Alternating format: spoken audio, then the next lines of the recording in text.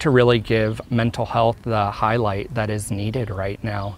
Um, it's not a one-off, it's not an inconvenience to medical professionals that might be more focused on the 911 side of things. And we've received a lot of great support from those communities too, but mental health is a very unique field and it is its own.